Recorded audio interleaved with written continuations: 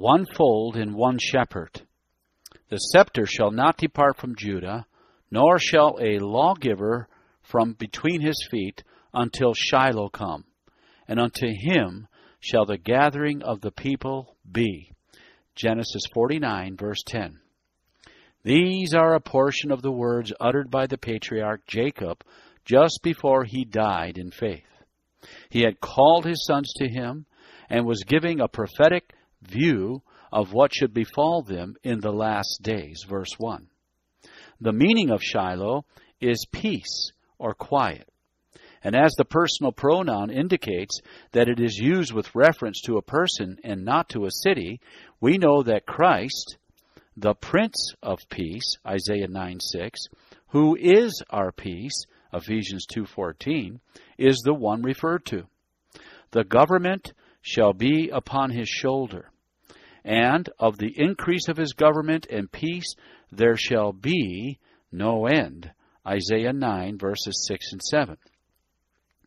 This is indicated in the alternative renderings in the margin of the Revised Version.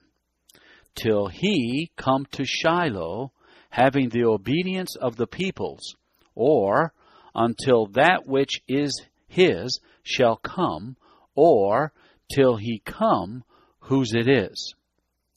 Many hundred years after these words were spoken, another man, of a far different character, uttered by inspiration similar words.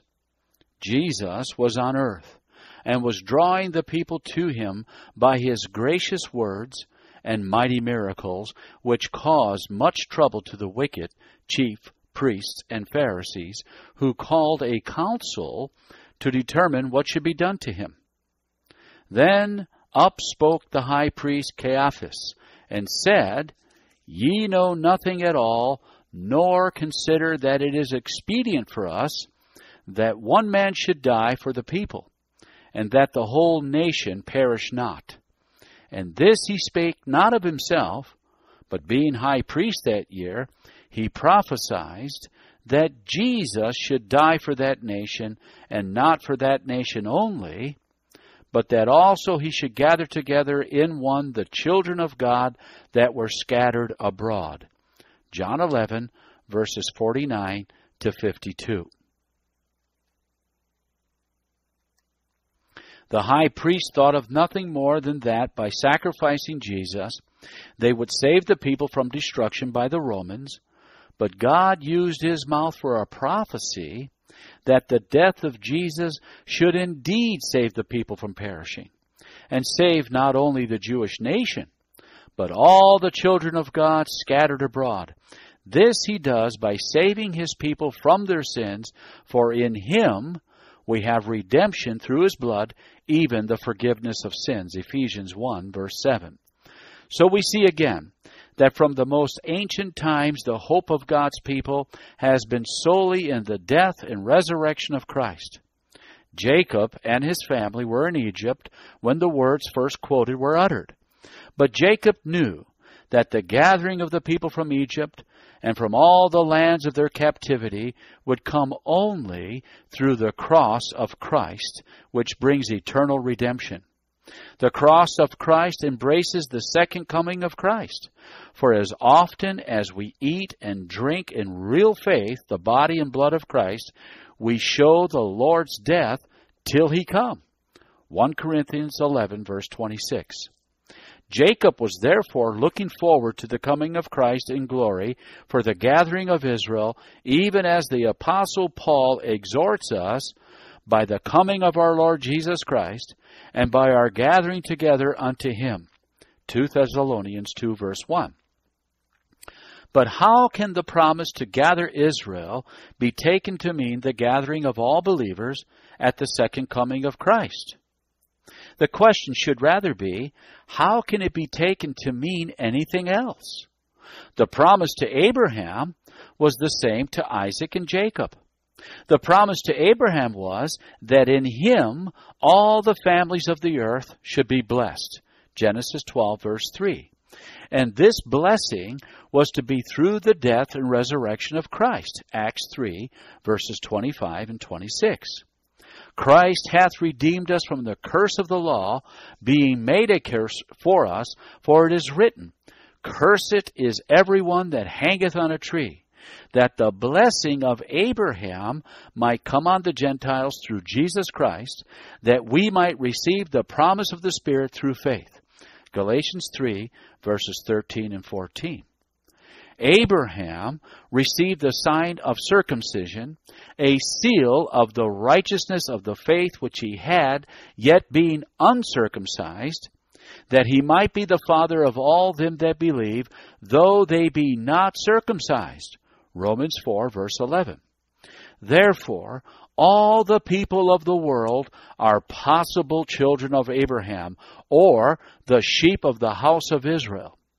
The whole world lieth in wickedness. 1 John 5, verse 19. Lost. And Christ is come to seek and to save the lost. Christ is the true shepherd, and hearing his voice is the test which determines who are really his sheep. He says, My sheep hear my voice, and I know them, and they follow me. John 10, verse 27. Those who cut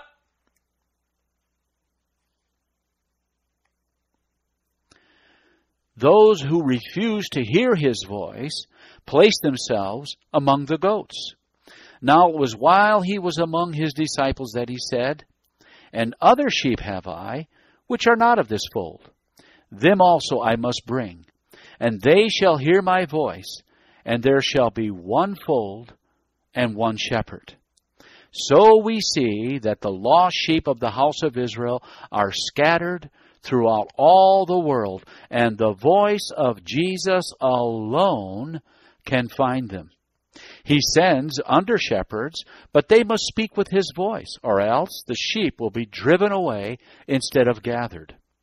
The words of Jesus, I am not sent, but unto the lost sheep of the house of Israel. Matthew 15, verse 24 when about to grant the request of the Syro-Phoenician woman, who had been drawn by the sound of his voice, shows that the poor, believing heathen woman was one of the lost sheep of the house of Israel. It is by the preaching of the gospel, therefore, that Israel are to be gathered. For the call of Jesus at his second coming, Come, ye blessed of my Father, inherit the kingdom prepared for you from the foundation of the world.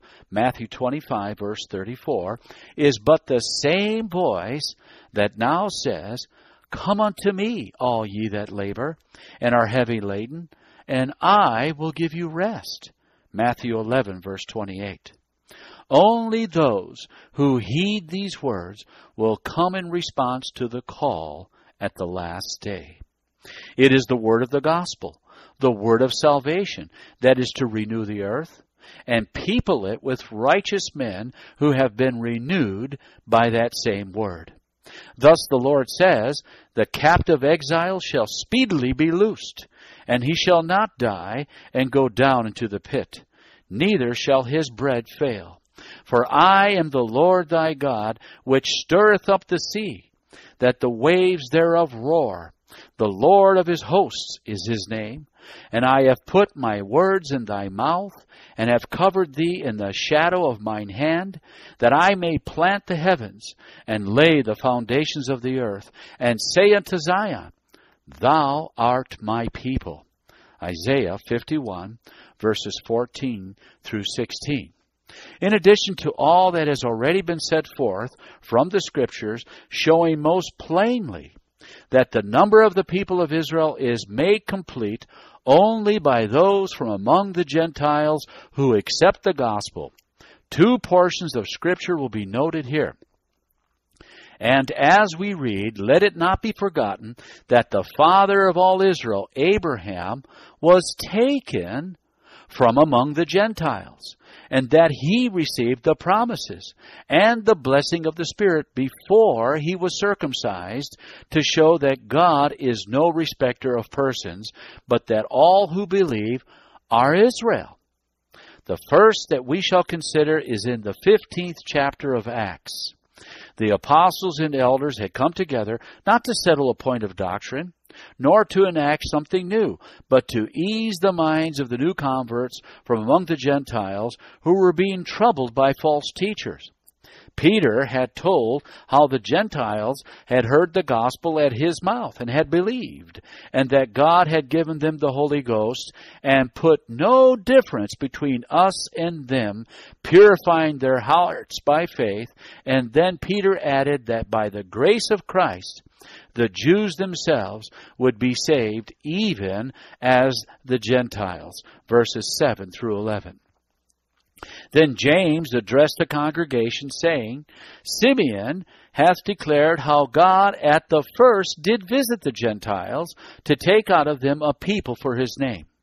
And to this agree the words of the prophets, as it is written, After this I will return, and will build again the tabernacle of David, which is fallen down, and I will build again the ruins thereof, and I will set it up that the residue of men might seek after the Lord, and all the Gentiles, upon whom my name is called, saith the Lord, who doeth all these things, known unto God are all his works from the beginning of the world, Acts 15, verses 14 through 18.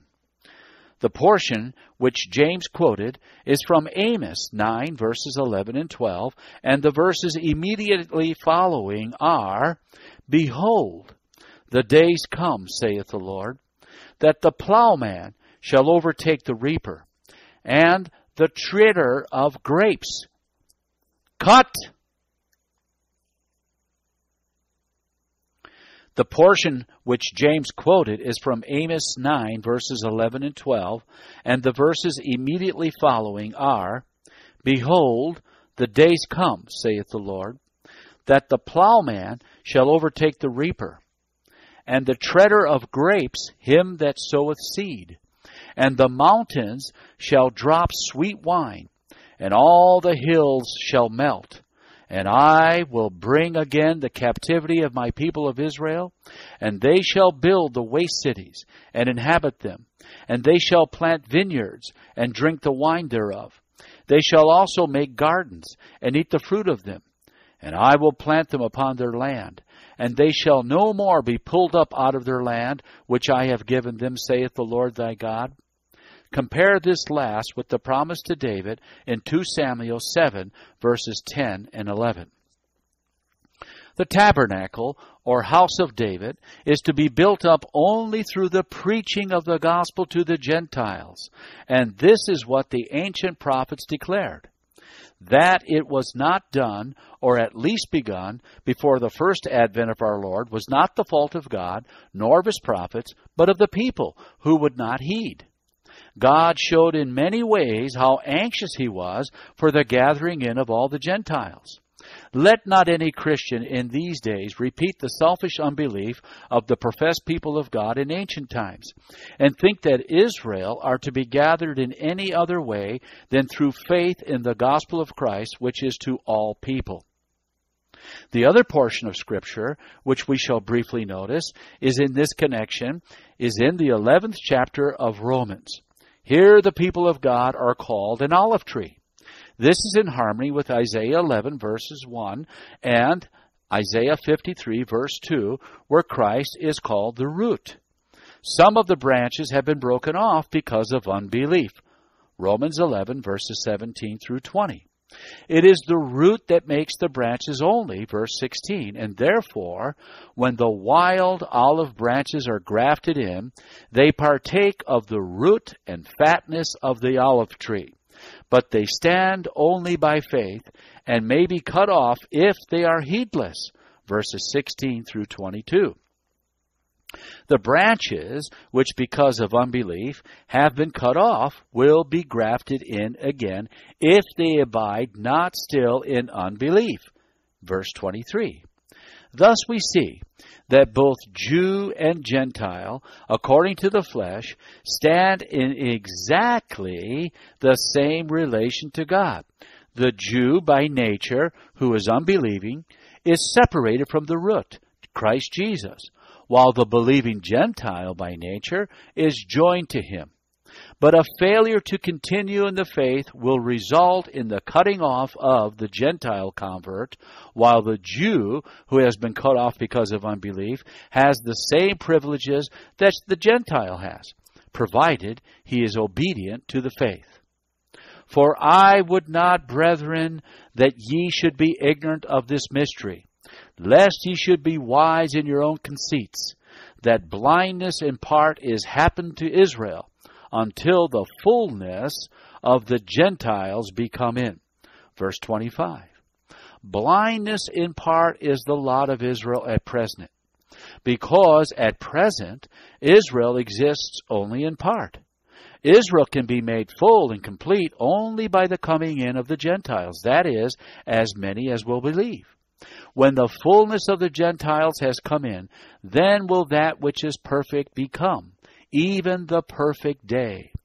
And so all Israel shall be saved, as it is written, There shall come out of Zion the deliverer, and shall turn away ungodliness from Jacob.